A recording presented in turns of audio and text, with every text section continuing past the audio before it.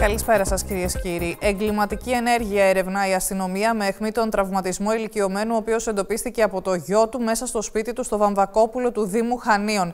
Η Αλκιόνη Χριστοδουλάκη θα μας δώσει περισσότερες λεπτομέρειες αναφορικά με αυτό το θρίλερ το οποίο βρίσκεται σε εξέλιξη. Αλκιόνη, καλησπέρα, σε ακούμε.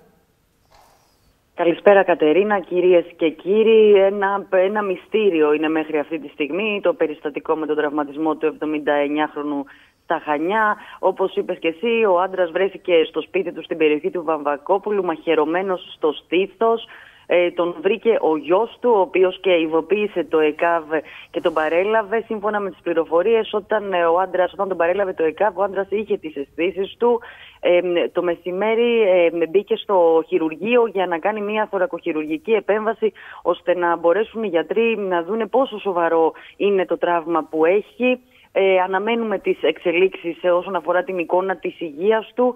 Να πούμε ότι η αστυνομία επίσημα δεν έχει αποκλείσει ακόμα το ενδεχόμενο αυτοτραυματισμού, όμως έχει τις πολύ λιγότερες πιθανότητες γιατί κλείνουν πολύ προς το ενδεχόμενο της εγκληματικής ενέργειας.